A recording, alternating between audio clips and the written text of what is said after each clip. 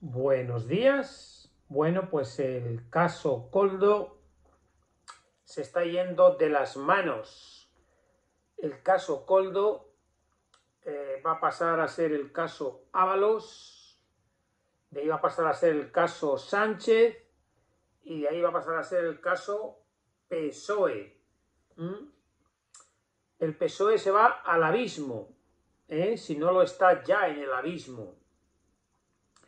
Eh, recordar Andalucía, los ERE, los años y años y años y años de encausamiento, de juicios, para al final acabar en que José Antonio Griñán no está en la cárcel por motivos X. ¿Y qué ha ocurrido en Andalucía? Pues Juan Mamonero Moreno, pues ya camino de ocho años de presidente. ¿Qué futuro tiene el Partido Socialista en la oposición?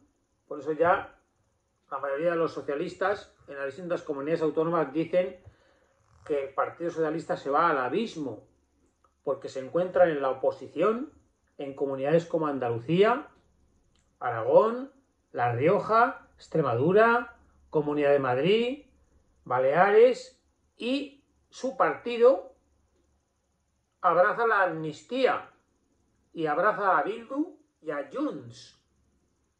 El Partido Socialista en todas las comunidades autónomas se encuentra abandonado en fase de desintegración por la política nacional que ha adoptado Pedro Sánchez, partido sanchista. Entonces, ahí está el asunto. El caso Coldo, mmm, vamos a ver, afecta a varios ministerios. Las ramificaciones del caso Coldo, que es el caso PSOE, son, por un lado, Ministerio del Interior, Grande Marlasca, aforado. Eh, el eh, caso Coldo, eh, nombrado por mm, José Luis Ábalos, consejero de Renfe Cercanías. Vamos a ver, ese nombramiento, eh, bueno, pues lo propone Ábalos, lo aprueba el Consejo de Ministros, ¿no? Aquí hay que limitar las eh, responsabilidades en José Luis Ábalos. No, las responsabilidades son de Pedro Sánchez, son del gobierno socialista, en que un eh, portero de prostíbulo, conocido en el ministerio por todo el mundo, o sea, al ministro Ábalos, todo el mundo diciéndole lo que este elemento está haciendo, cómo dirigía el cotarro en el aeropuerto cuando se reunieron de manera ilegal con la vicepresidenta del país X. Todo el cotarro lo dirigía a Coldo y todo el mundo lo sabía. Luego, cuando digo todo el mundo, es todo el mundo. Eh, la ramificación del caso Coldo, eh, pues va eh, Ministerio de Transportes, José Luis Ábalos. Ministerio del Interior, Grande Marlasca. Eh, Comunidad Autónoma de Baleares, presidenta Francina Armengol. Mm, Comunidad Autónoma de Canarias, presidente Ángel Torres, ministro. Francina Armengol, presidenta del Parlamento. Todos aforados. Marlasca, eh, Ábalos, Ángel Torres, Francina Armengol, todos aforados. Ahora el juez de la Audiencia Nacional eh, lleva el caso. Si tuviera que, para investigarles a ellos, tendría que pedir que llevara el tema al Tribunal Supremo, etc, etc. Entonces, ahora, esto es como cuando Bildu, tal, tal, tal. Los aforados es cuando estamos fuera, cuando no nos toca. Cuando nos toca, el aforamiento nos viene bien. Entonces, esto es la puntilla. Eh, vamos, la puntilla era ya que el Partido Socialista en todas las comunidades autónomas se queda sin argumento ninguno, las, todas las comunidades autónomas que son españolas, ¿eh? sin quitar, quitando eh, Cataluña o el País Vasco, en el resto de comunidades autónomas, como he citado antes, Andalucía, Aragón, Madrid, eh, Comunidad Valenciana, Extremadura, en todas esas comunidades autónomas, el PSOE, que es nacional, obrero español, se ha quedado sin argumento de oposición no tiene nada que hacer porque sus jefes están por la negociación con Junts. Después, mm, capítulo aparte, Santos Cerdán. de milagro. Navarro, una auténtica máquina. Después, ahora Ábalos va a la sexta y amenaza. Como no, los, los políticos socialistas son iguales, todos se autoblindan, todos buscan la M del contrario, y si acaso, si sacas la mía, te saco la tuya. Sea, es el espionaje y el contraespionaje. Se dedican a trabajar por el pueblo. Santos Cerdán, una máquina. Este es el que se reúne con Puigdemont, Santos Cerdán. Y Santos Cerdán es el que trajo a Coldo a Madrid. Tela.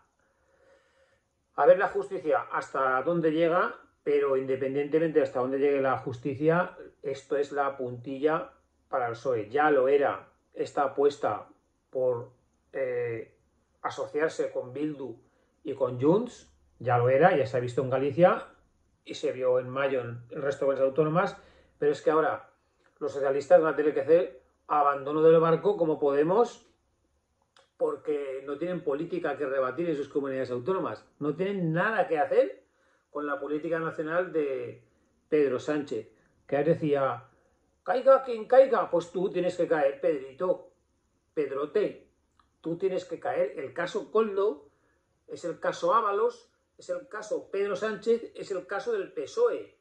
Es una repetición de los ERES. ¿Qué ha pasado en Andalucía? Pues que no va a volver a, gobernar el PSOE en los próximos 500 años. O sea, que no va a votar nadie en el PSOE, o sea, en Andalucía al Partido Socialista. Y así sucesivamente. Claro, en Madrid, ¿quién va a votar al Partido Socialista que quiere romper España y está ahí negociando Santos Cerdán con Puigdemont en Bruselas? ¿Quién va a votar en Madrid al Partido Socialista? ¿Quién lo va a votar en Andalucía? Y así sucesivamente. Entonces, eh, ante todo, a la justicia, en este caso ahora en manos de la Audiencia Nacional, investigación profunda porque las actuaciones de Coldo García las tenía que saber todo el mundo, porque es un auténtico gentuzo, el tal Coldo, todo el mundo sabía con quién se reunía, con quién no, a qué hora, en dónde, de qué hablaban, todo el mundo lo sabía. José Luis Ábalos no lo destituyó, ni a él ni a su mujer, que también estaba colocada en el ministerio, hasta que no salió él del ministerio. Entonces, ahora la justicia tiene que seguir adelante. Y si Ábalos tiene que cantar, que cante y caiga quien tenga que caer, como dice el propio Pedrito Sánchez. Es decir, aquí la corrupción va a ser similar a la del caso de los ERE, porque los personajes son del mismo pelaje. El Partido Socialista Obrero Español se va al abismo, si no lo está ya. Así que lo dicho, que tanto la Audiencia Nacional como si tiene que coger el caso el Tribunal Supremo, que no se cierre en falso. Igual que el amigo eh, Pedro Sánchez llegó al gobierno con una moción de censura, que caiga eh, mm, con la ley, que caiga con la ley y que se lleve por delante pues a toda esta mm, cuadrilla T, que llega una pandemia, llega unas mascarillas y a todos los listos se les encienden las bombillas. Y siempre se les las bombillas a los mismos. En, en el caso de los ERE, y ahora en el caso de las mascarillas, en el caso Coldo, caso Ábalos, caso Sánchez, caso PSOE, una vez más. Así que, señor Sánchez, si le queda algo de vergüenza, aunque sea por los pocos militantes que le quedan a su partido en las estas comunidades autónomas, márchese, márchese y deje que el resto de socialistas de España, incluido García Paje, puedan demostrar lo que es el socialismo. ¿eh? Que el socialismo es una manera de entender la vida de izquierda, progresista, pero que para nada eh, mira el, dijéramos eh, los independentismos ¿qué es eso? ¿dónde está la personalidad de una persona que es capaz de amnistiar a gente que es capaz de llegar a partos con exterroristas solo por seguir en el poder ¿dónde está la ideología socialista? ¿Mm? en fin ya resumiendo que de manera clara el PSOE se va al abismo y que habría que investigar de manera profunda a todos los aforados, en este caso, como son pues, José Luis Ábalos, Grande Marlasca, Francina Armingol, Ángel Torres y hasta el propio Pedro Sánchez. Así que buenos días.